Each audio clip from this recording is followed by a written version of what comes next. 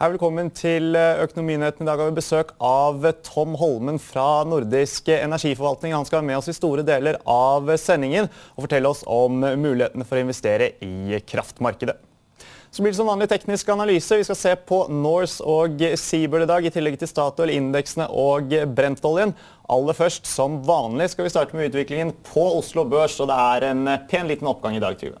Ja, det er en oppgang, men vi hadde jo en liten nedgang i går. Og oppgangen i dag er på rundt 0,6 eller 0,7% Og det er bra. Men det er liksom ikke noen store, spennende ting som skjer. Det er ikke. Det er Eltek er jo ikke noe lite selskap, men de er liksom taper med nedgang på 12-13% og De har kommet med et varsel om lavere salg og lavere fortjeneste, og ganske kraftig sådan.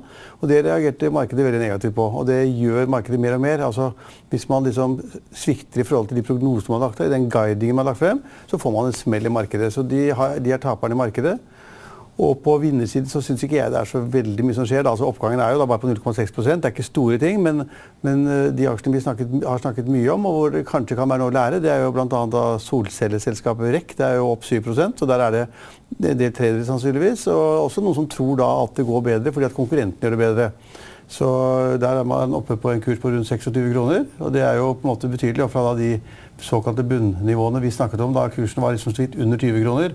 Så det er en oppgang i REC. Det er mange tror da at det er fremtiden. Altså vindmøller og solceller og atomkraft og ja, mange alternativer til vannkraft. Eh, så der er det, en, er det et sig oppover. Men den mest interessante aksjen, syns jeg, som for å se liksom hvor, hvor, det er liten fare, men egentlig øh, hvor man kan forstå hvorfor folk kjøper. Det er jo da i cruiseselskapet Royal Caribbean, som jeg kan ganske mye om, og som vi har snakket en del om.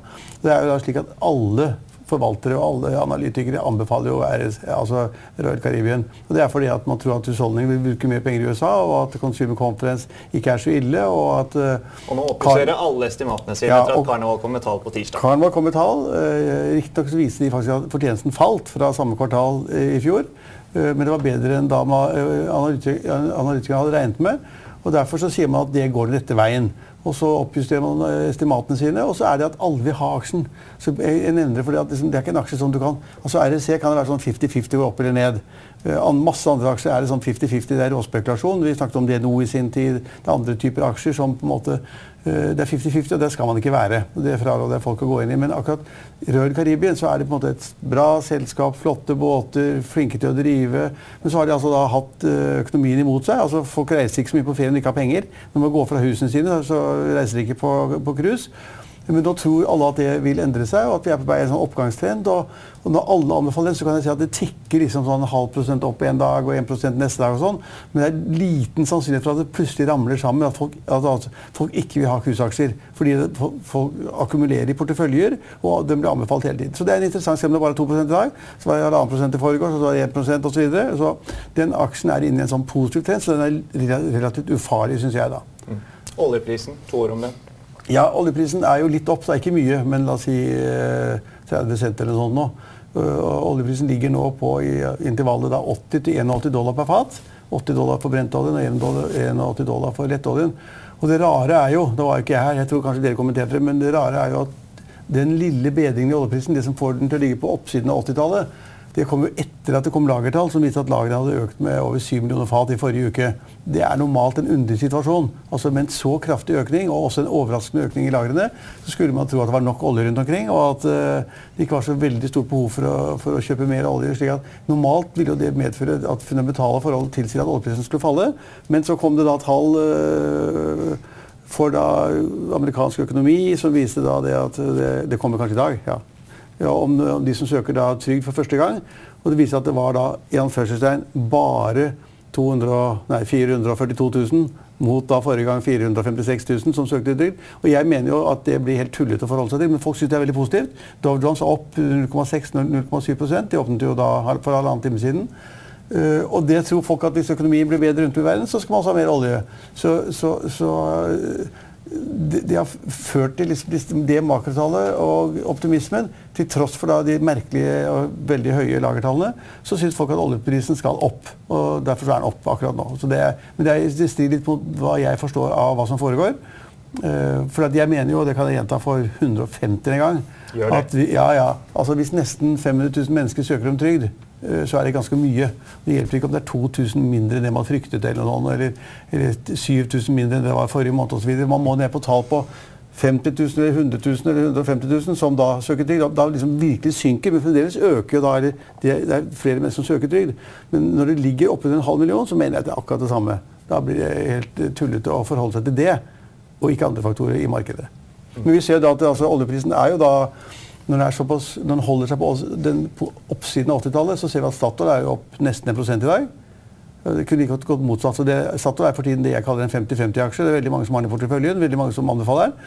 Og så er det usikkert om den oljeprisen holder, og så kan det like godt da falle 1% eller 2% som det stiger 1% Det er risky business hvis man ikke sier at det er veldig langsiktig, og på lang sikt veldig lang sikt, så må alle ha mer olje, og BNP-veksten skal komme opp i 3-4 istedenfor 1 eller 1,5 og da må verden ha olje, eller andre, andre energiformer. Eh, og Derfor så kjøper vi også Statoil som en hedge da mot oljeprisen osv. Fra olje til uh, kraftmarkedet. Tom, vi har jo hørt om uh, skyhøye strømpriser nå i, i, hele vinter. Gjør det det attraktivt å investere i, i kraftmarked? Eh, svaret er ja, men kanskje ikke av den grunn som du, du tror. At, uh, det er jo ikke spotprisen som du og jeg betaler hjem, som er den vi som finansielle aktører handler på. Men kraftbørsen den har jo da framtidskontrakter eh, lenger fram i tid. Og de har også begynt å bevege seg. Jeg skal si litt etterpå om at eh, de har ikke beveget seg mye. Så sånn sett er det kanskje det største potensialet i det finansielle marked eh, ligger foran oss. Men eh, ja, vi har fått bevegelser, og det har vært veldig mye usikkerhet. Mm. Har med, har med en, en, en, graf til oss eh, som vi sikkert kan få opp på skjermen, som, som, som viser utviklingen i uh, spotprisen. Og som vi ser, så har den gjort uh, relativt uh, store byks fra, fra, tidligere i år.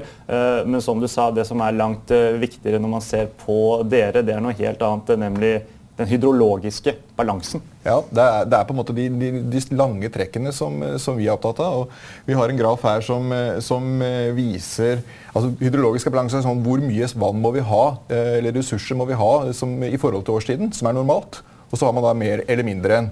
Og Vi har en blå strek her på minus 20 terawatt og på tilsvarende på pluss 20. og Det er, det er innenfor normalen. Går man uh, utenfor det, så begynner man å få en eller annen form for ekstremår. Et tørrår, et våtår. Og da øker usikkerheten i markedet. Uh, og det Vi som finansielle aktører registrerer jo at da når usikkerheten øker, så uh, kommer også betalingsviljen til aktørene. Produsentene i industrien må ut og sikre seg. Og da tjener våre forvaltere penger. Så vi, uh, vi er, har hatt en bra start på året. og er veldig positive nå, basert på, på balansen, mer enn akkurat enn hva spotten har gjort. For nå blir det tørrår? Nå ser, altså, det, det, sier man jo alltid. Men altså, det er ikke, nei, ikke alltid ikke magasinet er fulle. Nei, men man, man, sitter sånn sett og kan si at nå vet, allerede nå så vet man at det blir tørre. Og ikke nødvendigvis. Hvis nei. det kommer veldig mye regn nå hele sommeren, så kan det fort normalisere seg. Men det er lite sne i fjellet. Det er, det er bare Oslo ja, mye snø. Og den er fanget opp av den, eh, av den grafen. Den hydrologiske balanse er med, med, med, hva som ligger av vann i magasinene, hva som er av snø, faktisk værblingen også, i det korte bildet. Så det er totale hydrologiske situasjon. Så våre seere skjønner Alle har lest i avisen at det er lite snø i fjellet. Ja. De tror iallfall det. Og vi blir litt lurt, vi som er på Østlandet, som har litt mye snø. Og så er det lite vann i magasinene, står det i avisene. Ja. Og de Summen av det blir da liksom et litt tørt år? Summen av det blir at vi mangler faktisk nå 30 terawatt, som er relativt sett da en fjerdedel av Norges forbruk på et år. Det mangler Norden nå. Og enten må det komme veldig mye mer vann, hvor skal prisen opp, da? da så Prisen i, i, framover i det finansielle markedet skal opp. Og vi tror vel også at den vil trekke med seg eh, spotprisen. Så at vi ikke nødvendigvis uh, har sett uh, det verste. Men igjen, kommer det veldig mye regn, uh, så kan det hende at vi sklir den av. Nå ser vi at prisene faktisk i spotmarkedet har falt ganske mye. Og det har vært et ganske bra tilsig i, i magasinet nå de siste to ukene. Så det er ikke noe eksakt vitenskap, og det er det som gjør at det er en børs. Det høres jo veldig enkelt ut, da. Ja, måle, det... måle vann i magasinet og si mye det er på fjellet, og så har man svaret, liksom? Ja, og du kan si at det, det, det, er enklere når det er sånn som det er nå, hvor det er for lite ressurs. Da er det faktisk hydrologien som bestemmer. Det er vanskelig i dette markedet her når vi har mer, for da er vi en del av eh, det europeiske markedet. Hvor vi også faktisk eh, må se på kullpris, oljepris og andre alternativer. Men i, i situasjoner hvor vi egentlig har altfor lite, og det ikke er kabler nok til kontinentet, så er det vel kanskje er vi mer på hjemmebane på den nordiske kraftbørsen. For dette har vi erfart fra historisk sett. Hvordan